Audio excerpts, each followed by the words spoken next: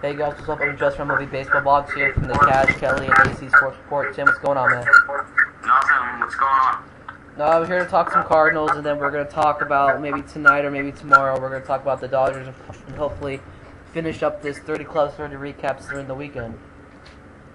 So let's talk about the Cardinals. Tim, they don't have Adam Wainwright in this ace. How big of how big of the difference record-wise will the Cardinals be this season? Um, having losing Wainwright is huge. Um, I'm not sure exactly how many games they'll lose because of him, but the, the one thing with them is they have a, you know, a little more of a better pitching staff than they came in with last year. Um, I think Kyle Lohse will improve for that rotation. I think uh, Jaime Garcia's in his second year, and uh, Chris Carpenter I think will have a good year. Jake Westbrook I think will have a good year, and he came over midseason and was really ineffective. So we'll, we'll have to see. Yeah, so let's talk about their pitching rotation. Uh, starting off with the ace of this year, Chris Carpenter. Um, in 2009, him, uh, Chris Carpenter, and Adam Wainwright were both in contention for the NL Cy Young. I mean, this team was just beast with Chris Carpenter and Adam Wainwright, the best duo in the NL right now. Um, well, not best duo in NL. They have No, the best. not best, like third best maybe. Yeah, third best maybe.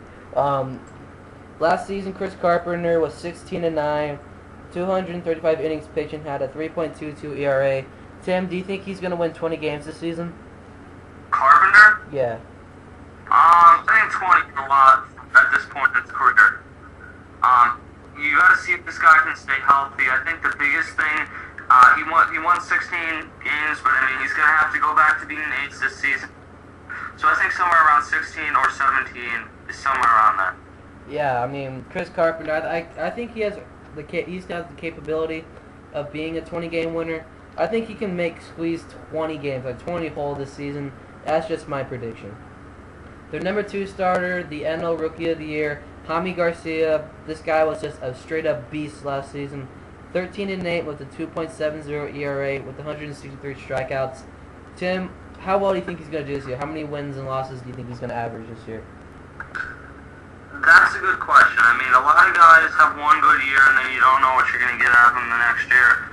I think the ERA will probably come up a bit as hitters figure him out a little bit. But I can still see this guy. I, I still think he'll improve wins. I could see something like a 15 and 7 record, about a 3.10 ERA, something like that. I mean, he's a very good pitcher. He showed that last year. I'm going on the assumption that he's not just a one-year wonder. Maybe he could, maybe he would. I mean, I like I, mean, I like watching Jaime Garcia. I mean, he was pretty decent, well, really great, I should say. Made a mistake right there, but seeing him on MLB Network, he said he's ready to go for this season, and I hope he can win maybe 15 games this season.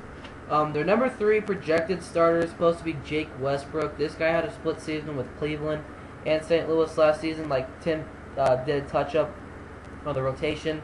He was 10 and 11 last season with the split season, a 4.22 ERA and 202 innings pitched. I mean, he wasn't really inconsistent with St. Louis last season, having the split season. Tim, do you think he's going to break out this season? Um, he's older, so I mean, I think breakout's probably the wrong word. But I think looking at him, he should improve on. That's why I He should improve this season. Um, I think he's a much better pitcher than he was last year. Don't expect too much out of him, and hope you get more. Is really got to be the type of thing you have with them. I could see something like a 14 and 11 record with a 3.6 something ERA. I think that'd be a pretty nice season for him. I guess because I don't really know much about. Obviously, being NL entire season should help him out. Yeah, I mean he's been he's transferring over from the AL to the NL. Um, his first full season in the NL, so let's just see how well he can do this season. I mean, I know a little bit about him. I know some, but I don't know much on him. So um, let's just touch base with them during our little season review, maybe at the end of the season. The number four starter, we got Kyle Lohse. Um, really inconsistent pitcher uh, for the past two years with the squad. The past two years, he was six and ten, and then the last season he was four and eight with an ERA way really, really high. Tim, do you think he's gonna have a, some more trouble like he did last two seasons? You know, I think the biggest thing for him has always been staying healthy. Um, he's got great stuff, and we'll have to see what he can do. I, I think he, when he's healthy, and he's going to have to be healthy this season, he can be a pretty effective number three starter. A number three starter. Yeah.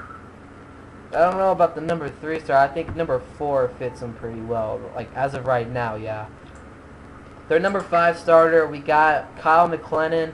He's coming over from the bullpen. He was a setup role last season for uh, their closer. I don't know if his name. I think it's Ryan Franklin.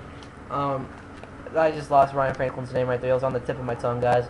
Um, but he's going to be transferring over from the reliever role to the starting rotation. In the past three seasons, this guy was just record-wise was not really inconsistent. He was two and seven in 08, four and four, which was pretty decent in 09, and in 2010 he was one and four. Do you think he's gonna have a breakout, like it's not somewhat of a breakout season at the number five start? Do you think he can win like 10 games? Yeah, I can see him winning 10 games. I mean, last time he's a star, I think he's with the Phillies uh, like five years ago. So it's a transition. I wouldn't. I, I'd be surprised if he's in that rotation the entire season because I think the Cardinals will go out and get some guys.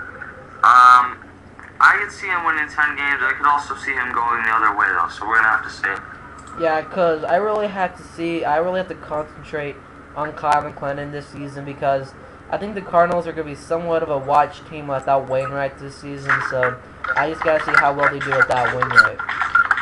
Now going on to their key acquirements, and Tim, why are you typing so fast?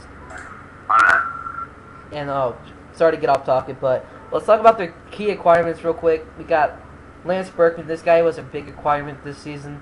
Tim, he had a split season with Houston and New York. New York didn't want to resign him because he didn't really do crap with the Yankees. Um, do you think he's gonna do something with the Cardinals this season? Um, hitting wise, I still think he has some left. I think the problem is he's in right field. Um, he's not going to last the entire season playing the outfield, and you can't just say, well, put him at first base because Pujols is there and he's not moving unless they decide they really change and trade him. Um, hitting wise, I think moving back into the NL Central should help him. He's not what he used to be, but I could see a 20 home run season. Fielding wise, I think him in right field is going to get messed up. Yeah, I mean, he's so used to playing like what third base and first base when he was with Houston, and he was playing DH role with the, the New York Yankees. I think outfield's gonna really gonna have somewhat of an effect on his season. So I actually was talking to one of my friends who was a Cardinals fan, and we actually kind of summed it up that he's gonna have maybe a 20 home run season.